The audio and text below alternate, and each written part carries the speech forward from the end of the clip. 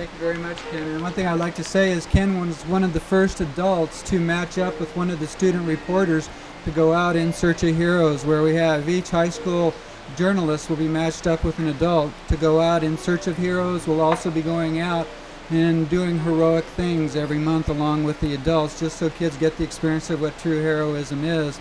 And Ken was, as I might say, one of our first heroes that stepped forward to help the young people.